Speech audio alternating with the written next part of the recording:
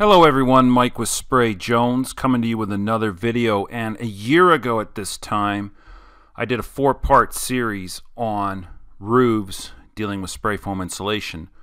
And it occurred to me just recently that we need to do the same thing but this time apply it to walls. So welcome to an up-and-coming four-part series on everything to do with walls and closed cell spray foam. We'll we'll deal a little bit with open cell foam towards the end, but I'm going to answer the majority of the time of the questions and the subjects on closed cell. So the four parts are going to be broken out as follows. Part one, which this is, is going to be two by fours, right from the old school 1700s, 1800s, all the way up until the uh, end of the 1970s. Part number two is going to be the modern era of 2 by 6 construction that in most cases is still going on today. And then uh, part three will be the structural benefits of closed cell foam, dealing with air leakage and the air leakage studies that are out there, and what design ease the closed cell foam or open cell foam can offer. And then part four, I think we'll rehash some popular um, topics of flash and batt, sound using four and five inches of closed cell. Why don't we fill the wall up? We'll take another stab at open cell foam at that point if there's anything left to talk about in that. And then the big thing I think we need to address is pole buildings and the interest in pole buildings versus traditional framing because I'm getting a lot of questions from you that are wanting to build pole buildings, but you're wanting to engraft a lot of well traditional framing designs into them. And I think that that fourth video is going to be really really helpful. So each step along the way we'll try and address everything with a little bit of open and closed cell foam but it's primarily going to be a closed cell foam video. So strap in because I aim to try and hit as many of the high points as possible the 2x4 structure is the most common framing of dimensional squared lumber in construction history because it, it, it, it spans the greatest amount of time from basically the uh, 1800s all the way through to the late 1970s. Some American states might still be using 2x4 as a code compliant wall assembly. Here in Canada, it hasn't been code since um, early 1980s, and that's due to thermal envelope decisions, not over structure.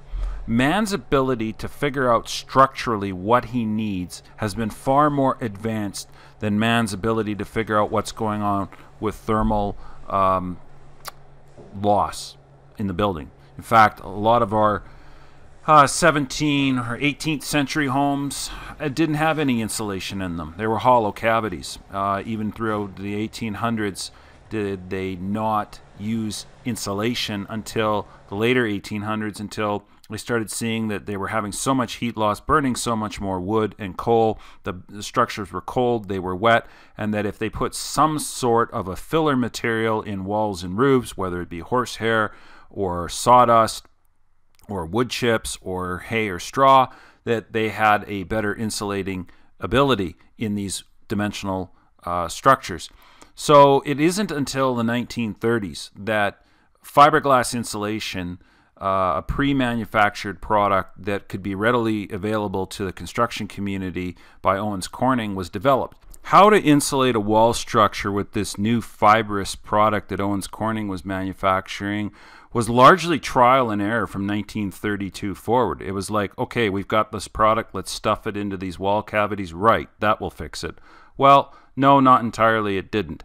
Uh, it was stuffed into the walls. Wall cavities were starting to become routinely dimensional with 16 on center spacing, 24 on center spacing. So the the fibrous industry could respond with making prefabricated uh, either roll products that would be cut to fit or dimensionally ready to go. Take them out of the bag like we have today it wasn't until the 1950s that we started to realize in wall assemblies that we are having water problems. I mean, it's trying to figure that out, both in Canada and the US, and started to figure out that, all right, air is a problem or water is a problem. So if we stop water vapor from going through the wall, then we must stop our water problems, right?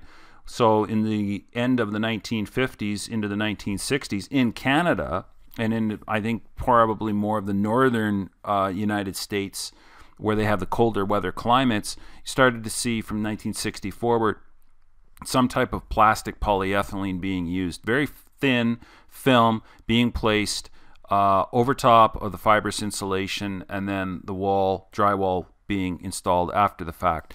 But they hadn't really figured out that it was more than water vapor. It's the big culprit is air leakage. If you do not stop the air from leaking through the wall, it really doesn't matter about water vapor. So you might say, well, what do you mean? Well, I covered this in a video uh, that I did a little while ago called Do We Need a Vapor Barrier with Open or Closed Cell Spray Foam? And in that video, I describe and show you that 98% of the water that's in a wall assembly is carried through air leakage. So the water is in vapor format, relative humidity, uh, and as it goes through the wall, it leaks through a hole. And then when it touches something cold enough that it can condense on, there you go. There's your unlimited amount of water. And that through a uh, two millimeter by two millimeter hole in a span of one building season, you can have 30 liters of water flowing through that hole, which is a drastic, huge amount of water that's traveling in suspension in the air all through air leakage. So it isn't until in Canada that the uh, the vapor barrier idea shifts to now we need to incorporate what we call an air barrier. We're more interested in stopping the air. So we're not going to be some thin little piece of film. We're going to go to a thicker piece of plastic that can handle flexing and movement and twisting and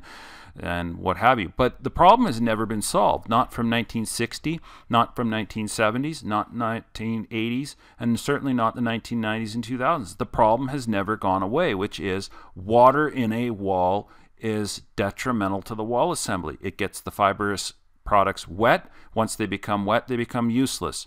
So if you take a paperback batt like you had in the 1940s, in the 1950s, uh, there's no air seal there. There's nothing preventing the air, which carries water with it, to go around the batt. You take the batt, you put it into the space, maybe you have a little nailing fin or stapling fin, you staple it to the edge of the 2x4, and that's it. You walk away.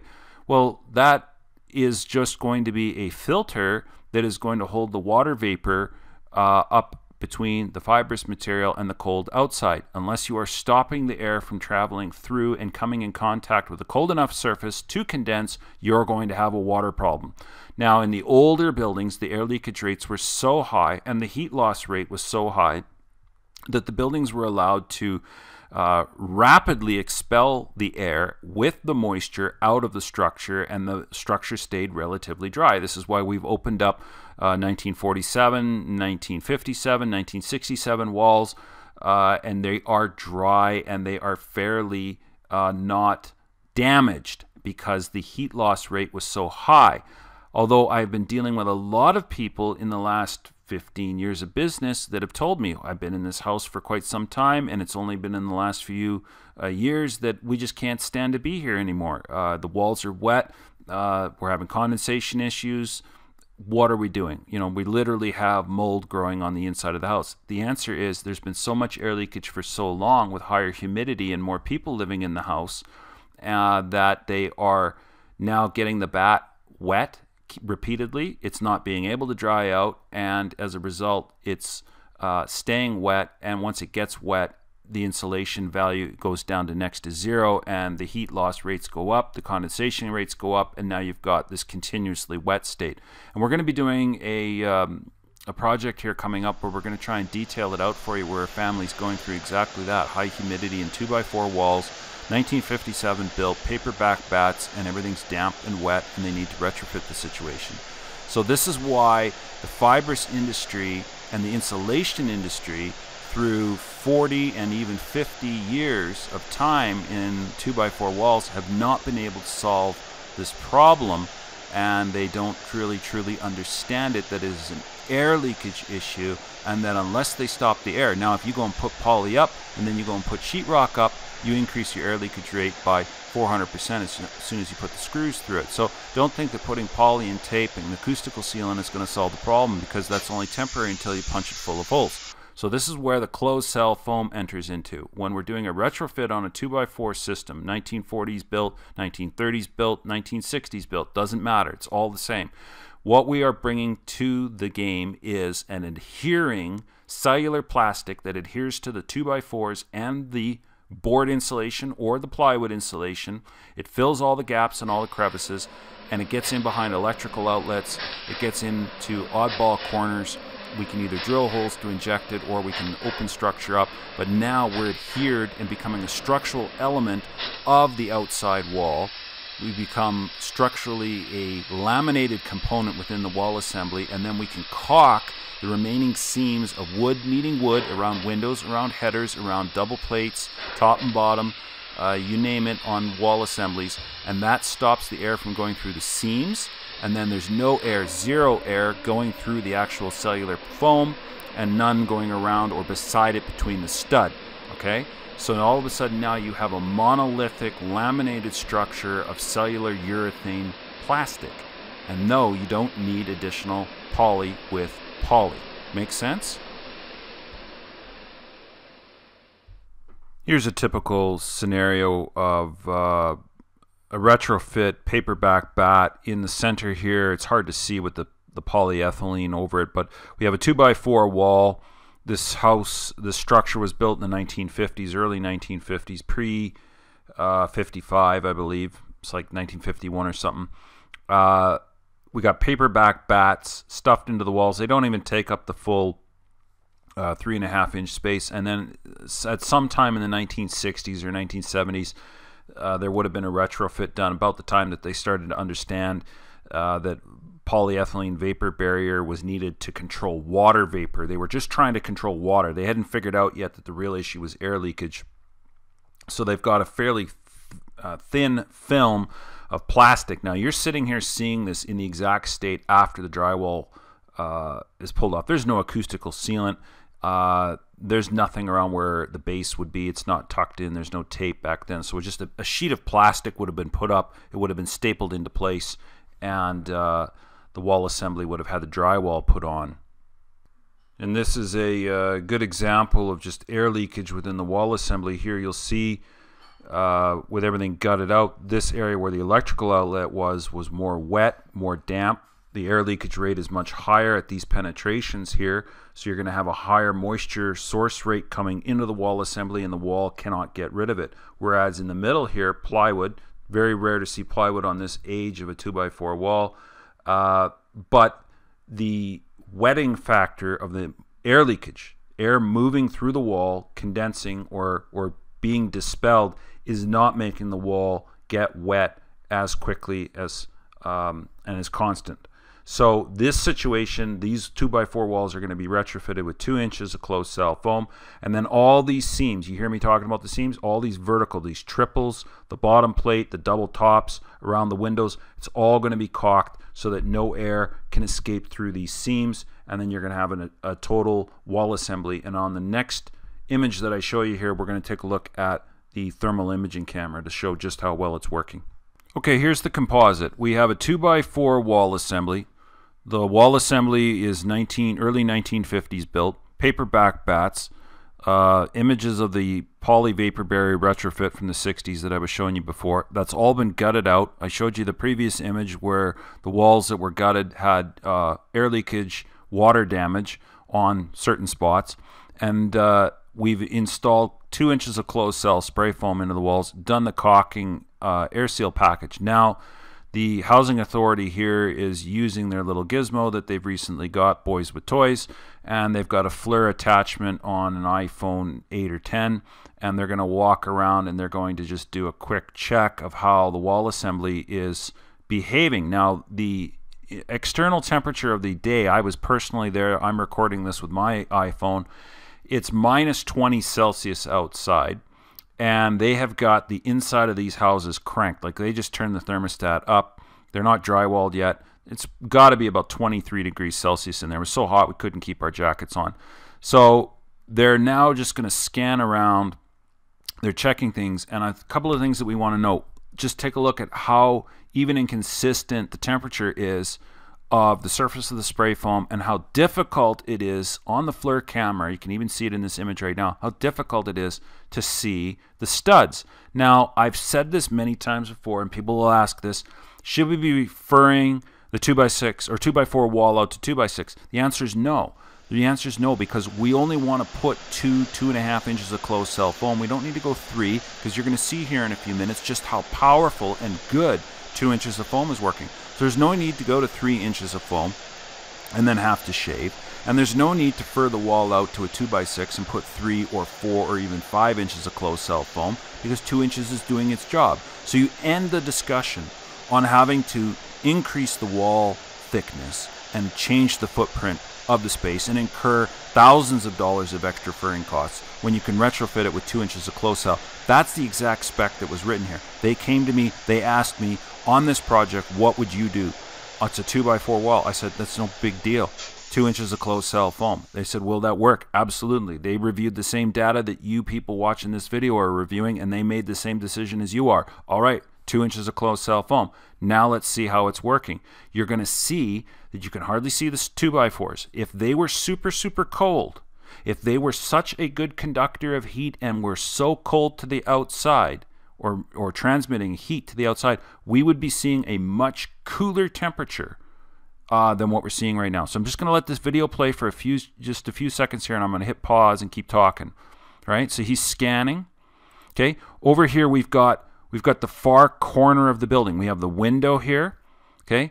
Around the window, they have their retrofit uh, jamb extension. They have changed the dimensions. They can't get the exact same dimensions of window, so they have retrofitted with some extra blocking around the window. That's what we're seeing. That blocking has not been fully caulked yet, so you're seeing the cold air leakage coming in. It's showing only up at 22 degrees, right? This is a corner of the wall, okay? And here you can see a stud, you can see a stud, you can see a stud, a guy's walking in front. So here's the composite of the wall assembly. I'll wait till he goes over to the... Okay, so there's the wall assembly, right? 2 by 4 2 inches of closed cell foam, right? King stud going beside the window. You can see uh, how they've placed uh, additional pieces in to change the window dimension, and he's now going to check the temperature. Now, again, you do not see ultra blue cool with the studs, right? Minus 20 degrees Celsius outside. Okay, so here's our window header. Our header is hollow. Whatever was placed in there in the 1950s is still in there. The headers were not opened up and not changed. They were left in place. All they have is what's in them and they're caulked and air sealed. So again, my argument, the headers are showing up at significantly cooler temperatures than the surface of the spray foam. Here we have a hot air duct. You can see how warm it is right? Here we have the joist end. Here's the floor joist. Here's the spray foam up in the joist end, right? Here's the space above. If the stud face were such a better conductor of heat and much, much colder, we would be seeing a much cooler temperature here.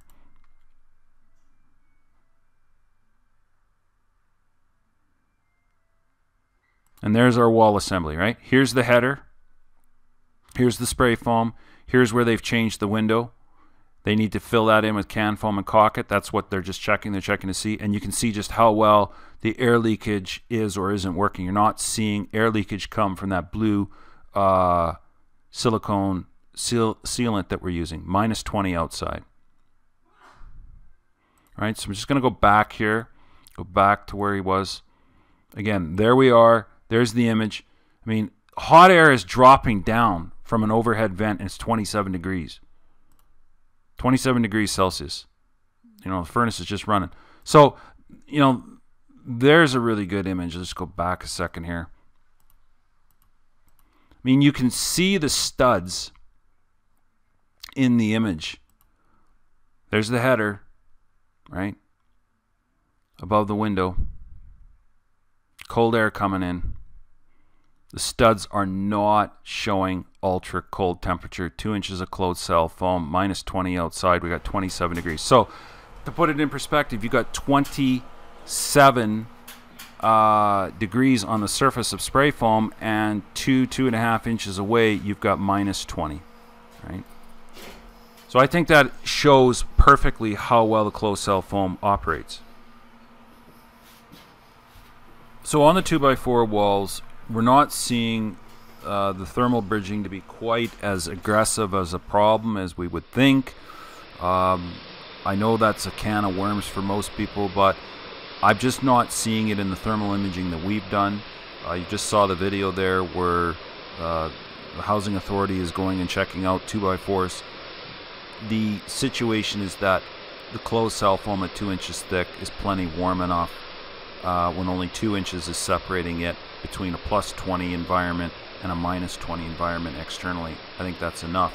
That shows you that 3 inches is definitely not needed. Therefore, why go to all the expense and time and effort of shaving? Why go to the expense, time, and effort to fur things out? Vapor barriers are not used with polyurethane closed cell foam when we do the caulking package. And for those of you that are in the southern climates with 2x4 walls, if you were to be doing a vapor barrier, it wouldn't be on the outside, it would be on the, or in the inside, it would be on the outside. So uh, with a closed cell foam, the vapor barrier is always, always on the correct side because the vapor permeance of the product is the vapor barrier, not the skin. And I go over that in Is Spray Foam a Vapor Barrier.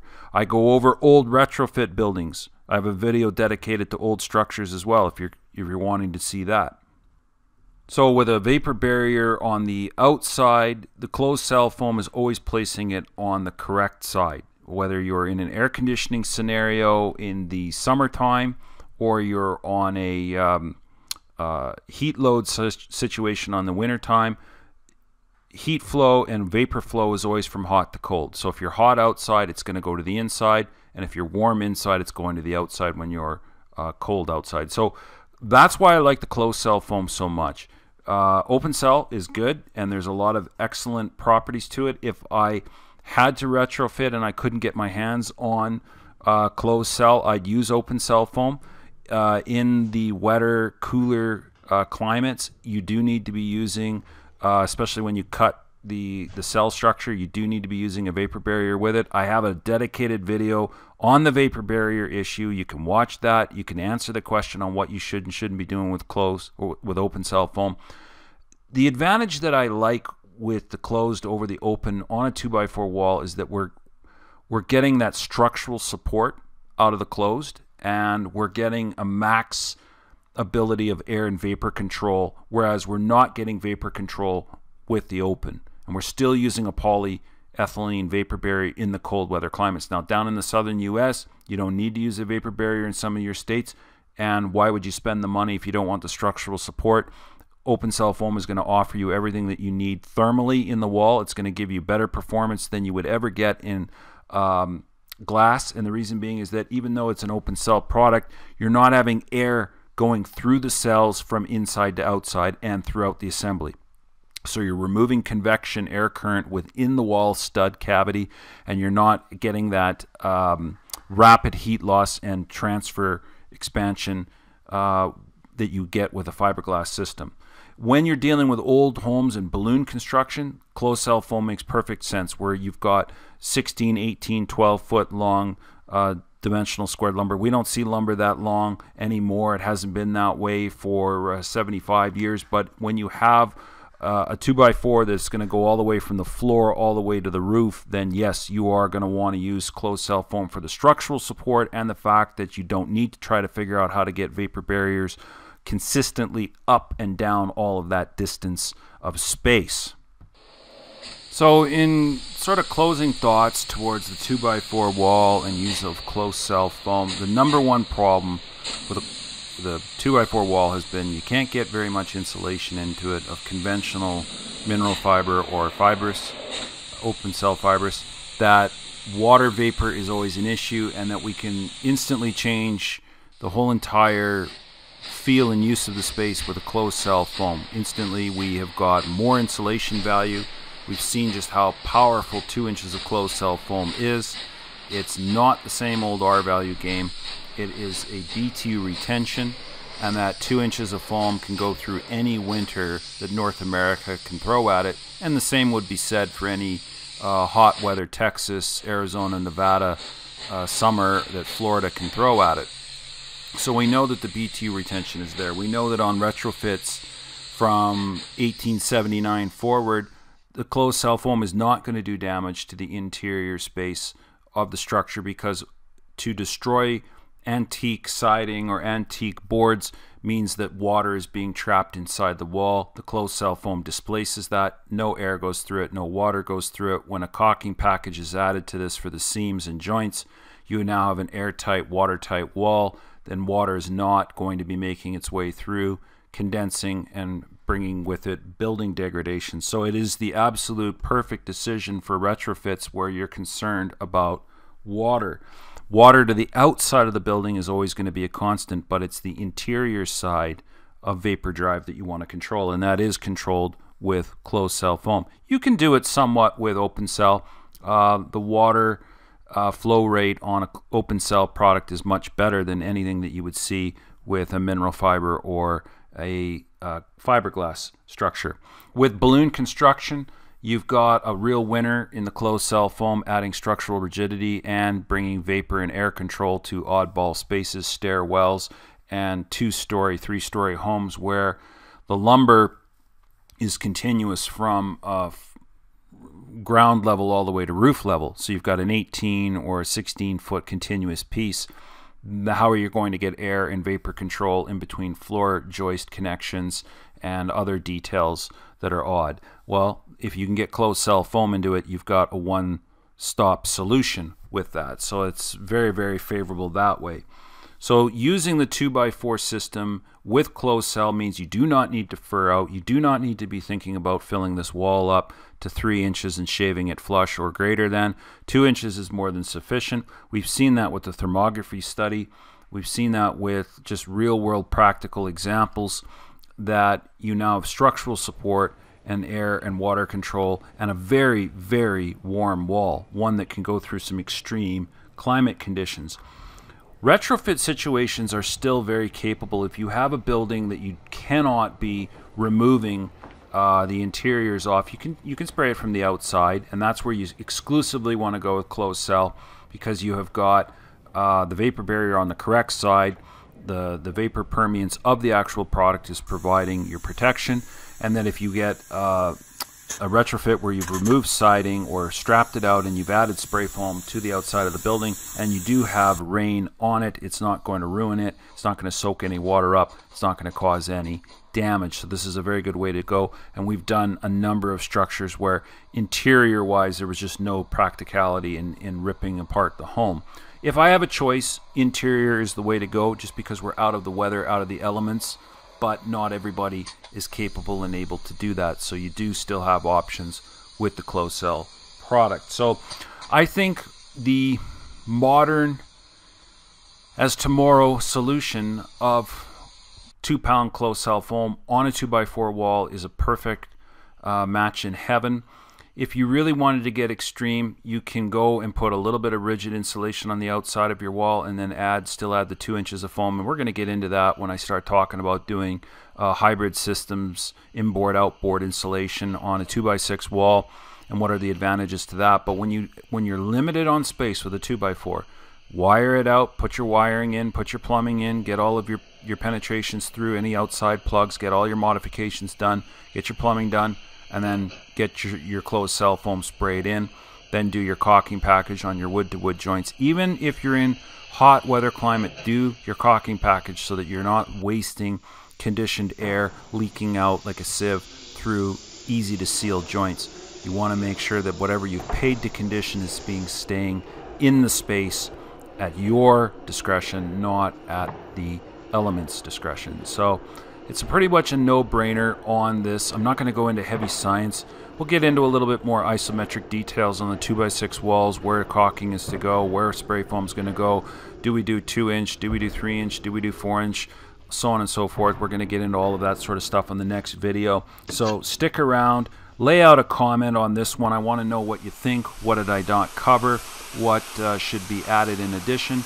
And we are going to catch you on parts 2, 3, and 4 probably be doing one video a week over the next month to catch you up to speed on this great and interesting topic. So, thank you for subscribing. Thank you for staying this long if you did, and we'll see you soon on the next one. Bye.